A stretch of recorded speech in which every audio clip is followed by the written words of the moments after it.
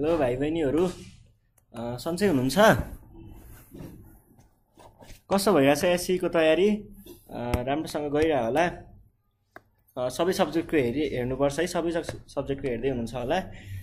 कस्तो भइरहेछ? कम्पलसरी म्याथमेटिक्सको केही प्रब्लमहरू आएको छ भने हामीलाई भन्दा हुन्छ है। प्र्याक्टिस गर्नु राम्रोसँग। केही प्रब्लम आएको छ भने चाहिँ तल डिस्क्रिप्सनमा दिएको नम्बरमा फोन गर्दा हुन्छ।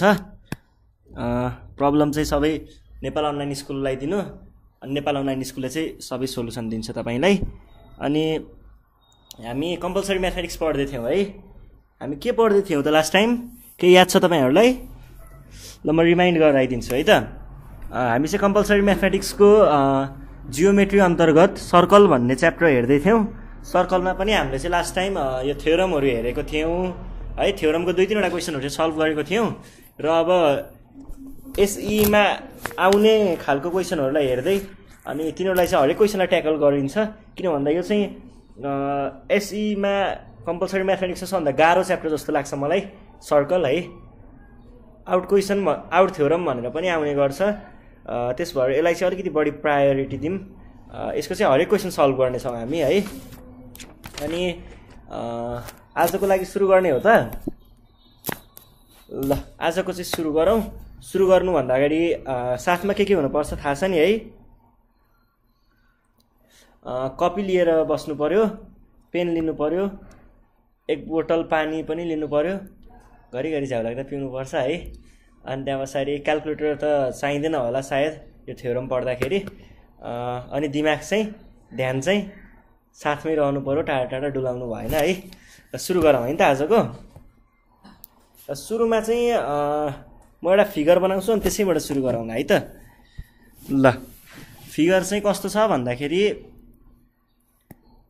यस्तो एउटा सर्कल छ। यसभित्र एउटा एफ बनेको छ कि? एफ यस्तो एफ जस्तो बनेको छ। अनि यसलाई चाहिँ हामीले अब के के गिभन कुराहरू दिएको भरमा नै त्यसलाई प्रुभ गर्नु भनेको कुरा प्रुभ गर्नुपर्छ। एकछिनको लागि हामी सिआइडी बन्नुपर्छ है। क्वेसनले यस्तो यस्तो प्रुभ गरेर देखा भनेर भन्छ। हामीले त्यो कुरालाई सिआइडी जस्तो यस्तो खोजेर पत्ता लगाएर देखाउनु पर्ने हुन्छ है।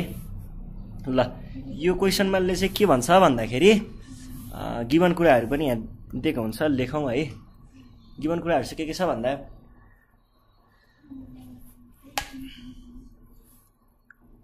O is the center of circle.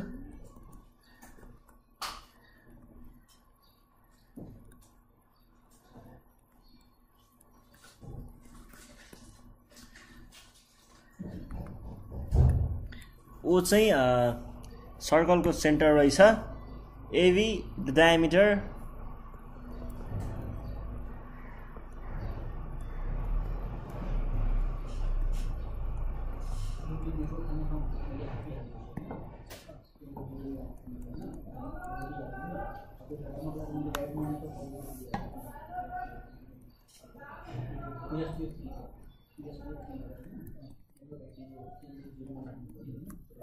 DC ल है प्रुभ द्याट हामीले प्रुभ गर्नु चाहिँ के भन्छ भन्दाखेरि AD is parallel to OC भनेर भन्छ। ल कसरी प्रुभ गर्ने होला? के आइडिया छ त तपाईँहरूसँग? हेर्नुहोस् है क्वेसनले भनेअनुसार यो ओ भनेको सेन्टर अफ सर्कल हो एबी हो है यो। एबी भनेको चाहिँ डायमिटर हो भनेर भन्छ। अब हामीले चाहिँ के कुरा प्रुभ अनि अर्को चाहिँ एउटा अर्को कुरा पनि छ। बिडी सरी आँक बिसी भनेपछि यहाँ सी रहेछ। आँक बिसी यति arc equals to arc DC भन्छ। आँक भनेको थाहा छ नि यो कर्भ परेको भाग छ नि यो। यस्तोलाई आँक भन्छ है। एआरसी आँक अनि अब हामीले अब चाहिँ दिमाग चलाउनु पऱ्यो है। प्रुभ द्याट भनेर भनेको छ। अब गिभन कुराहरू त यही लेख्दा हुन्छ त्यस पछाडि टु प्रुभ भनेर लेख्नु पऱ्यो टु प्रुभमा हामीले प्रुभ गर्नुपर्ने के हो? एडी प्यारल टु ओसी हो। ओसी हो यो एउटा कुरा भयो। हामीले कन्स्ट्रक्सन त केही गर्नु पर्दैन होला सायद किनकि प्यारल नै देखाउने प्यारल कसरी देख्न देखाउन सकिन्छ होला त?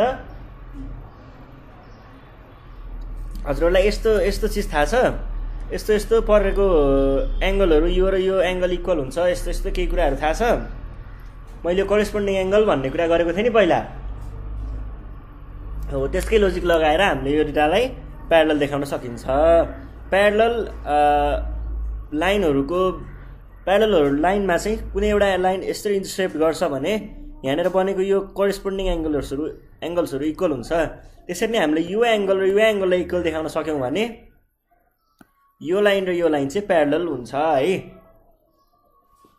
ल अब त्यो एङ्गललाई चाहिँ कसरी इक्वल देखाउने होला त? ल भन्नुहोस् त। ल अब सुरु गरौँ है त। स्टेटमेन्ट्स र रिजन्स भनेर लेख्नुपर्छ नि थाहा छ नि है।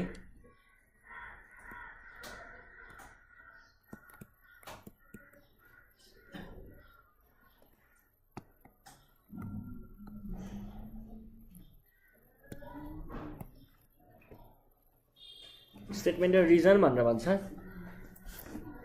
सुरुमा चाहिँ हामीले के गर्न पाइन्छ भन्दाखेरि यहाँनिर यतापट्टि बनाउँछु ल म त्यो सर्कललाई।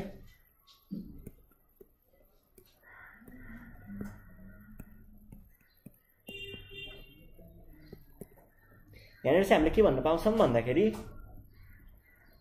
यो बिओसी बोक्सी भन्ने छ नि यति यो ग्रिनवाला angle this angle is equal is equals to the degree measure of this arc यो कुरा हामीलाई थाहा छ नि है? हो त्यही कुरालाई चाहिँ लेख्न पाइन्छ। Angle BOC is equals to arc BC भनेर भन्न पाउँछ। किन त? Angle at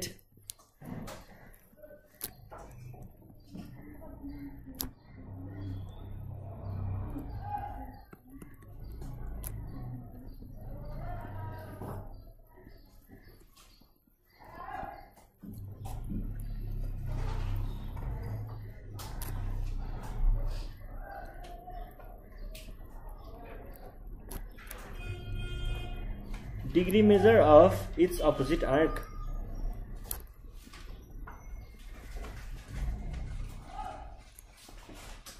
हो नि है? ल यो कुरा भइसके पछाडि हामीले अर्को के भन्न पाइन्छ त भन्दाखेरि एङ्गल डिएबी देख्नुहुन्छ तपाईँहरूले? उयो एङ्गल? दिस रेड एङ्गल यो रेड कलरको एङ्गलमा पनि हेर्दाखेरि उस्तै उस्तै खालको हामीले रिलेसन देख्न पाउँछौँ। तर इक्वल्स टु चाहिँ हुँदैन यसमा हाफ हुन्छ। किन भन्दाखेरि यो चाहिँ सर्कम फेरेन्समा बसेको एङ्गल हो। यो सेन्ट्रल एङ्गलको थियो त्यसैले है। यो आई नम्बरमा लेख्छु मैले। यहाँ आइआई भन्छु। अनि angle DAB is equals to half of BD भनेर भन्न पाइन्छ। आर्क बिडी यो किन? एङ्गल एट द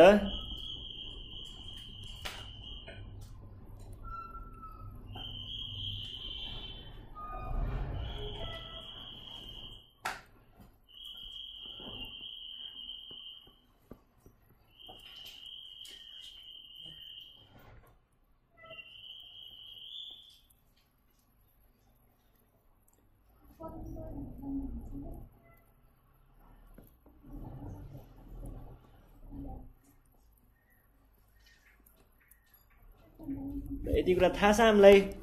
त्यसै गरी हामीले अर्को के पनि भन्न पाइन्छ भन्दाखेरि angle DAB is equals to half times कति हो त?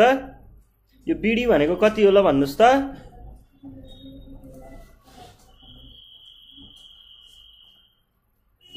यो पुरै बिडी भनेको यो सिबी प्लस डिसी हो नि त यति हो नि त। अनि फेरि हामीलाई के थाहा छ? This is equals to this भनेर थाहा छ नि त। यो ब्लु यो योवाला आँक र योवाला आँक त इक्वल छ भने हामीलाई थाहा छ। भनेपछि हामीले के लेख्न पाइयो त यहाँनिर?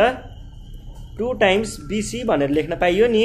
टु र टु क्यान्सल भयो इज इक्वल्स टु बिसी यो चाहिँ हामीले किन लेखेको हो अरे BC is equals to CD भएको भएर यो चाहिँ के थियो?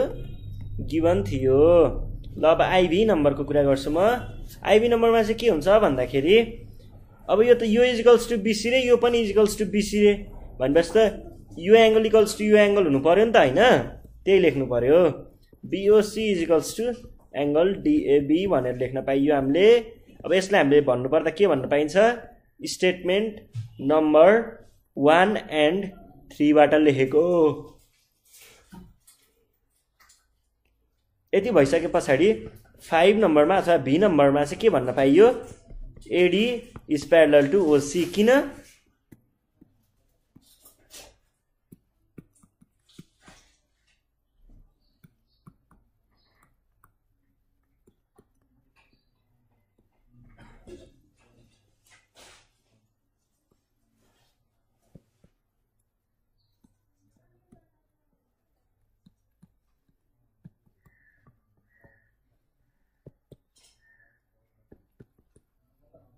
ल कुरा सकियो है।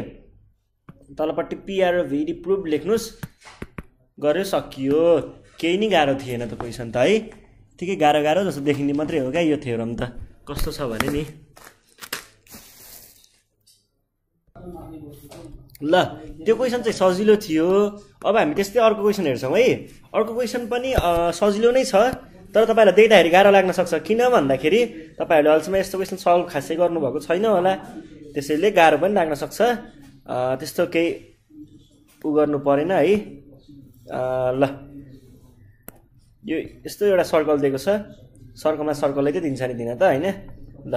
क्वेसनले चाहिँ दुइटा यस्तो कर्ड्सहरू दिएको छ जुन चाहिँ इन्टरसेक्ट भएको छ। अब क्वेसन लेखेको कुरा चाहिँ म यहाँ लेख्छु है गिभन कुराहरू।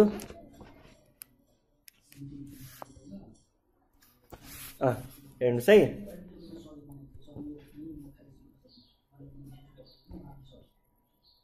लेखेको कुराहरू चाहिँ के छ भन्दाखेरि? कड डिई एन्ड एफजी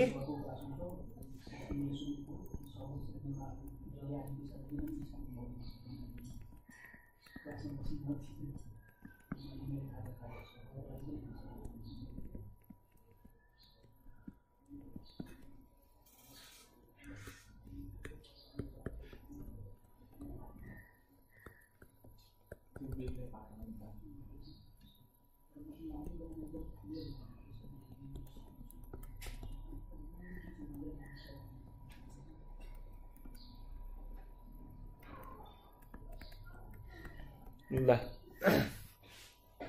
क्वेसनले चाहिँ भनिसक्यो है। यसलाई एफ भन्छ यसलाई एक्स भन्छ यसलाई ई भन्छ यसलाई डी भन्छ यसलाई जी भन्छ। क्वेसनले के भनेको? भन्दाखेरि प्रुभ गर्नको लागि चाहिँ डिएक्सएफ डिएक्सएफ यो यति angle is equals to half times degree ए होइन होइन यो डिग्री डिग्री मेजर अफ दुईवटा कड भनेको छ एउटा डिएफ भन्ने कड अनि जिई भन्ने कड यो दुइटा कडको ठ्याक्क हाफ हुन्छ यो भनेर प्रु प्रुभ गर्न लगा प्रुभ गर भनेर भनेको छ। अब कसरी प्रुभ गर्न सकिन्छ होला त ल भन्नुहोस् त। ल हेर्नुहोस् है अब यसलाई हाम्रो सोलुसन लेखे जसरी लेख्न सुरु गर्छु है त? सुरुमा गिभन भनेर लेख्नु पऱ्यो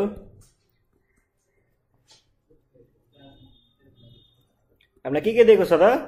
डिई एन्ड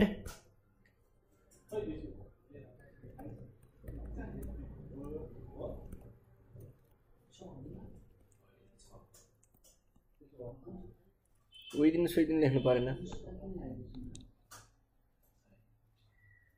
यति मात्रै हो दिएको प्रुभ गर्नुपर्ने कुरा के छ त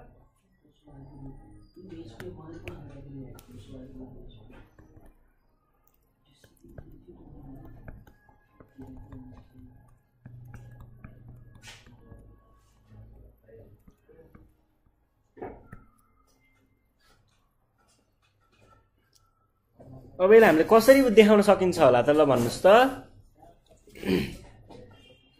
हामीले यहाँ के गर्न सकिन्छ भन्दाखेरि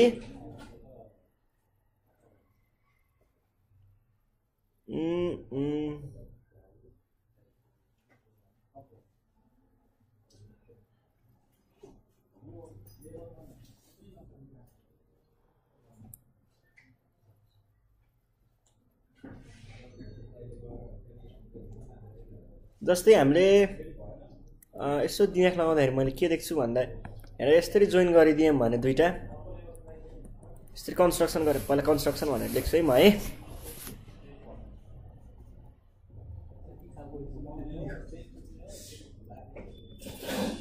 अब यो कन्स्ट्रक्सनमा चाहिँ मैले के गरेँ भन्दाखेरि हेर्नुहोस् है।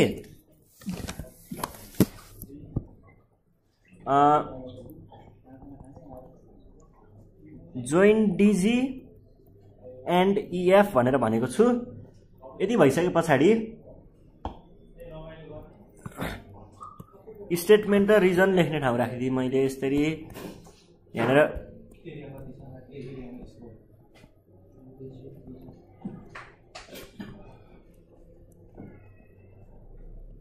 रिजन्स ल। यति कुरा भइसके पछाडि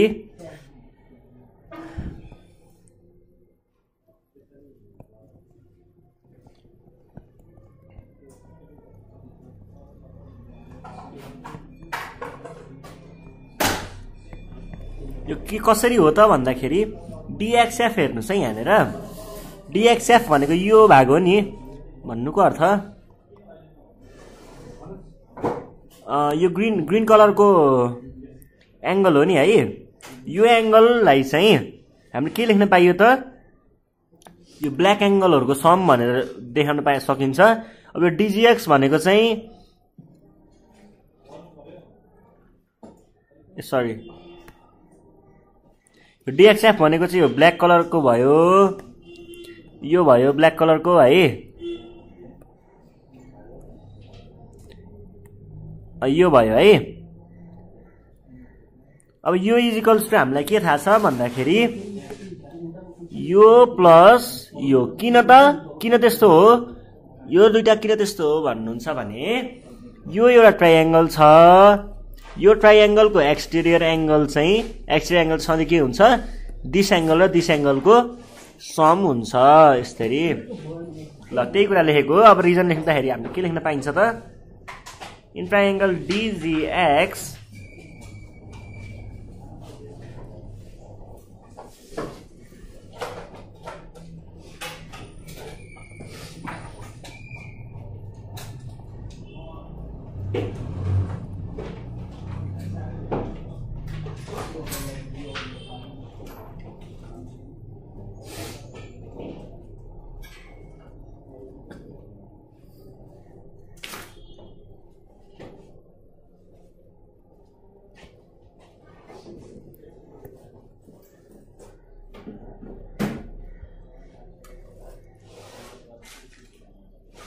ल अब अब हेर्नुहोस् है। अब अर्को कुरा चाहिँ हामीले यहाँ अर्को के देखाउनु पर्यो भन्दाखेरि अर्को कुरा चाहिँ प्राय यो एङ्गल डिजिएक्स जुन छ नि डिजिएक्स यो भनेको चाहिँ के हो त? यो डिजिएक्स भनेको के हो त? यो यो एङ्गल भनेको यति पुरैमा इन्सक्राइब भएको छ नि त। अनि यो सर्कमफेरेन्समा छ। सर्कमफेरेन्समा भएको। अनि यसरी आँक छ भने यो सर्कमफेरेन्सको एङ्गल सधैँ के हुन्छ? यो आँक डिग्रीको हाफ मेजर हुन्छ भन्ने थाहा छ नि हामीलाई। भन्नुको अर्थ हाफ टाइम्स डिएफ हुन्छ भन्ने थाहा छ हामीलाई। त्यसलाई हामीले कसरी लेख्न सकिन्छ त? ल भन्नुहोस् त।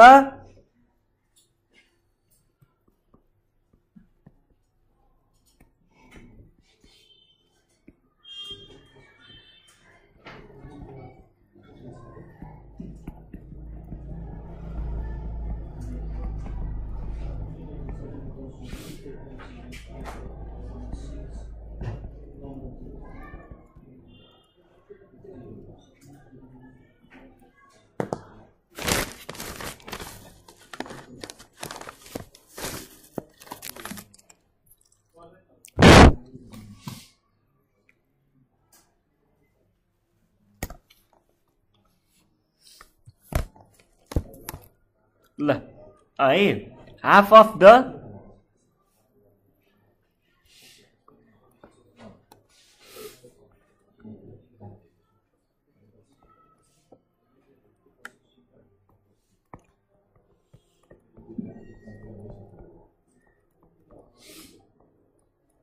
यति कुरा नि भइसक्यो। त्यसै गरी यसको त कुरा सकियो। अब यो जिडिएक्स भनेको के होला त? जिडिएक्स भनेको यु एङ्गल हो नि। यो एङ्गल पनि त्यस्तै नै सर्कम फेरेन्समा छ र यहाँनिर बसेको छ। भनेपछि यसको र यसको रिलेसन पनि हामीले पत्ता लगाउन सकिन्छ। कसरी त?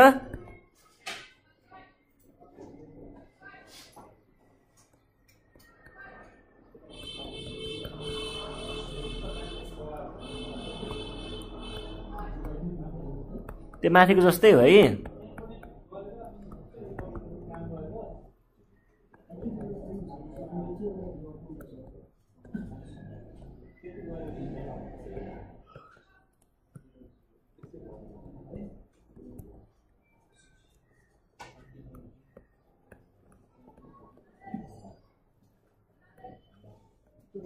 यो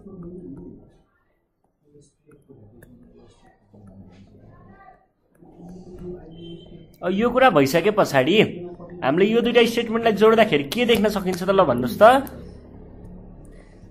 यो दुइटा स्टेटमेन्टलाई जोडौँ है यो यो दुइटा स्टेटमेन्टलाई जोड्दाखेरि चाहिँ हामीले के भन्न सकिन्छ भन्दाखेरि triangle DXF is equals to यो प्लस यो हो नि त भनेको half times DF plus half times G हो यहाँ यस्तो गरिदिएँ है मैले। यो हो नि त होइन? यो चाहिँ किन हो भनेर भन्दाखेरि यसलाई चाहिँ हामीले यस्तो लेखौँ।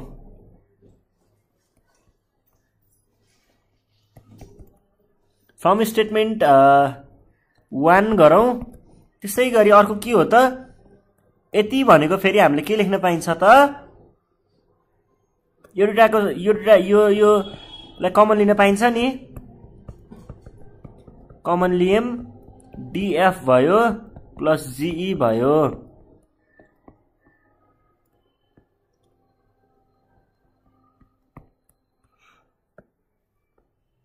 सक्यो है? केही गाह्रो थियो त? केही गाह्रो थिएन है?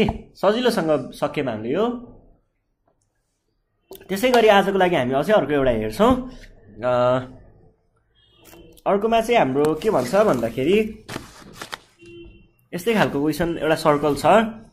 यस्तो सर्कल दिएको छ। यो सर्कलमा चाहिँ पोइन्टहरू चाहिँ के के भनेको छ? यस्तरी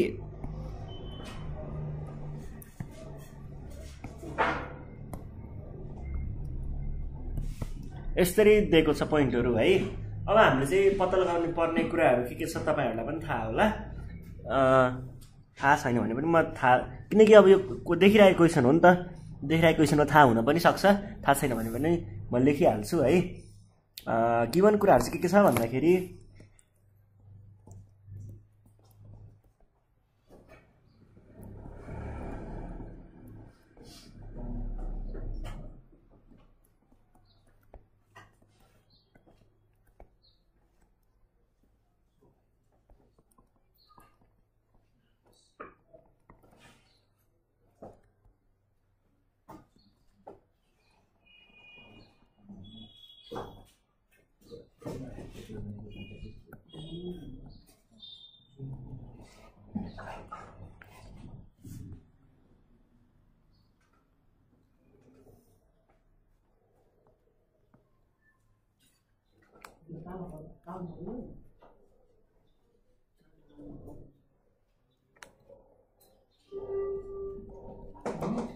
ल। यो कुरा भइसक्यो है। क्वेसन लेखिसकेमा अब चाहिँ हामीले प्रुभ गर्नुपर्ने कुरालाई हेर्छौँ। प्रुभ गर्दाखेरि चाहिँ हामीलाई के प्रुभ गर भनेर भन्छ भन्दाखेरि यो प्रुभ गर्नुपर्ने छ। गिभन र टु प्रुभ त कुरा यहीँ आइसक्यो। अब प्रुफतिरै जाउँ। प्रुफ गर्दाखेरि हामीले केही कन्स्ट्रक्सन चाहिन्छ होला। हामीलाई प्रुफ गर्नुपर्ने चाहिँ के छ भन्दाखेरि एमएक्सआर एमएक्सआर भनेको यो एङ्गल रहेछ। Is equals to half times MR minus NS half times MR MR minus NS भनेर भन्छ। कसरी गर्ने होला के आइडिया छ त? यसलाई चाहिँ हामीले कसरी गर्न सक्छौँ भन्दाखेरि त्यो अहिलेको जस्तै जस्तै दिमाग लगाऊँ है त। के हुँदो रहेछ ल।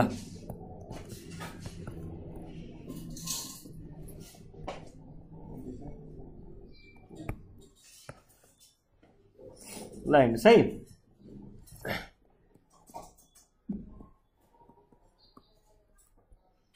सुरुमा चाहिँ यस्तो गरौँ।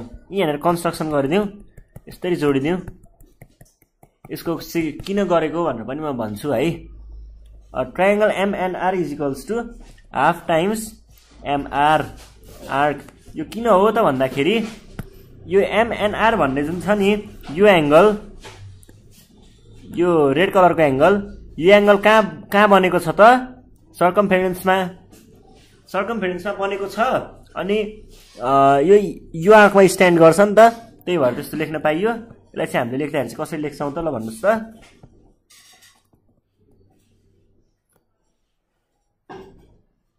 Angle at the circumference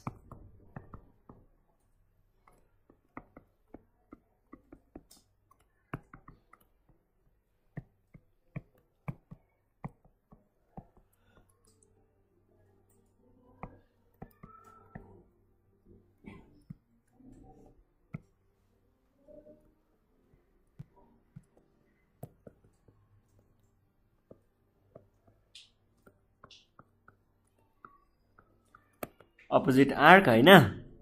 ल यसै गरी अब यो योवाला हेर्नुहोस् त फेरि यो एङ्गललाई हेर्नुहोस् त। यो एङ्गललाई हेर्दाखेरि पनि त्यस्तै कुरा देखिन्छ। यो सर्कमफेरेन्समा छ र योवाला आर्कमा स्ट्यान्ड गर्छ भनेपछि हामीले के लेख्न पाइयो त यसलाई?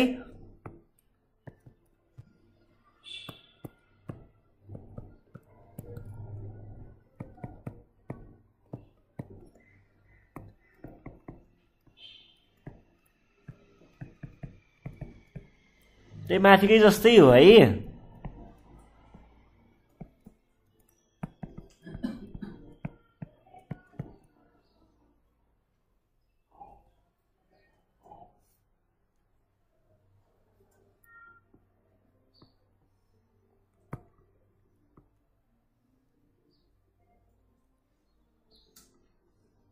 इक्वल हो है equal to its opposite arc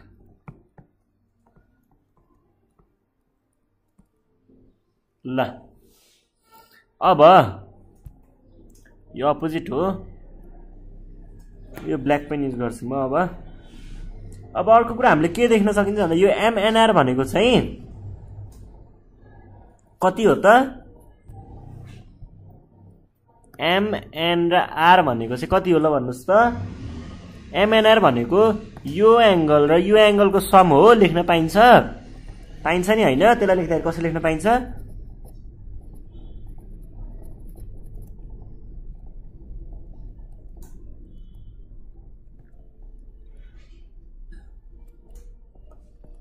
अब हेर्नुहोस् है। अब यो एनएक्सआर छ नि यसलाई यहीँ राख्छु। म यसलाई चाहिँ यता लग्दाखेरि के लेख्न पाइन्छ त?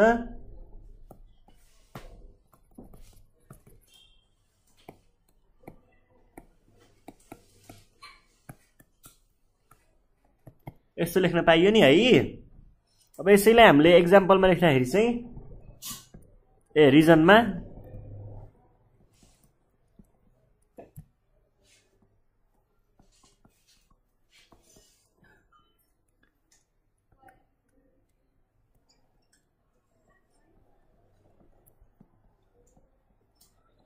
sum of two exterior interior opposite angles.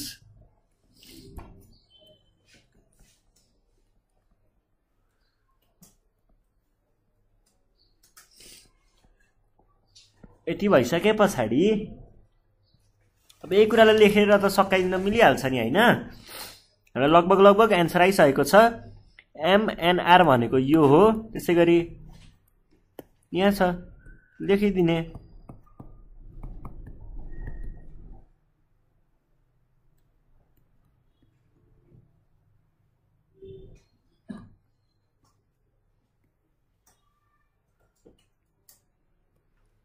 है। अब यसलाई चाहिँ कसरी लेख्न सकिन्छ त लास्टमा? एनआरएस भनेको छ NXR is equals to half times MR भनेर यस्तै गर्न पाइन्छ। माइनस हाफ टाइम्स एनएस लेख्न पाइन्छ।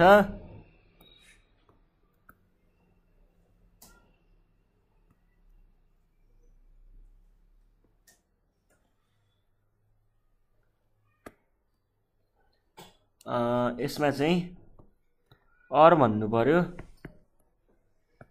एनएक्सआर इजिकल्स टु हाफ भनेर लेख्नै पर्यो। MR arc minus NR arc ल यो कुरा सकियो। यो हामीले कहाँबाट लेखिएको हो त?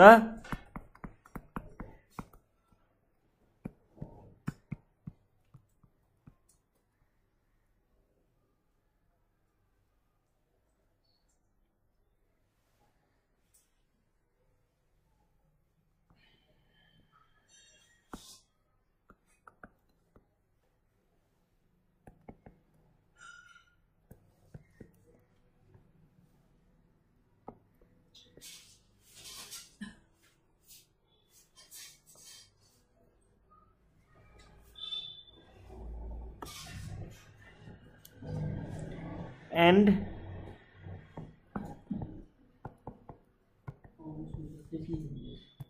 ल सकियो नि होइन।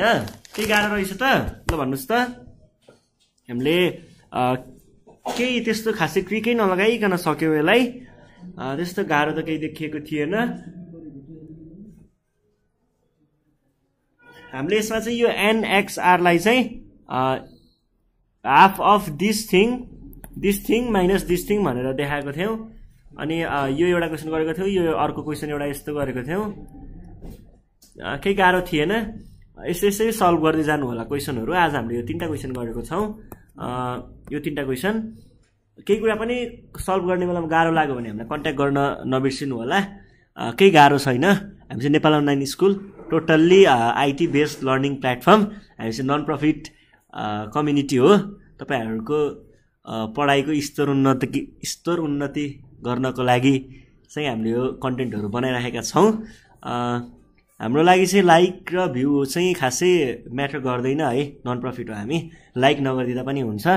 अब भ्यूको कुरा गर्नु पर्दाखेरि चाहिँ युट्युबमै हेर्नुपर्छ भन्ने छैन। डाउनलोड गर्नुहोस्। डाउनलोड गरेर रातभर चलाउँदाखेरि पनि भ्यू बढ्ने होइन है। रातभर चलाउनुहोस् रातभर पढ्नुहोस् है। अनि सेयर चाहिँ गर्नु होला। सेयर गर्नुपर्छ साथीहरूलाई पढाउनुपर्छ है। सेयर गर्दाखेरि पनि हजुरहरूले युट्युबको लिङ्क नै सेयर गर्नुपर्छ फेसबुक मेसेजमा पठाउनुपर्छ यताउता गर्नुपर्छ भनेर त्यस्तो नसोचिदिनुहोस्। त्यसलाई हजुरहरूले सेयरबाट सेयर गर्दा नि हुन्छ पेनड्राइभमा लगेर सेयर गर्दा नि हुन्छ तर सेयर चाहिँ गर्नु पऱ्यो साथीहरू बसेर पढ्नुपर्छ नि है। ल आजको लागि चाहिँ यति नै थियो। हामी फेरि अर्को सिरिजमा चाहिँ फेरि अरू अरू कन्टेन्टहरू लिएर आउनेछौँ। सर्कलको नै कुरा गर्नेछौँ? किन भन्दा अब यो सर्कल अलिकति गाह्रो च्याप्टर हुने हुन्छ। त्यसलाई हामी सर्कलको नै कन्टिन्यू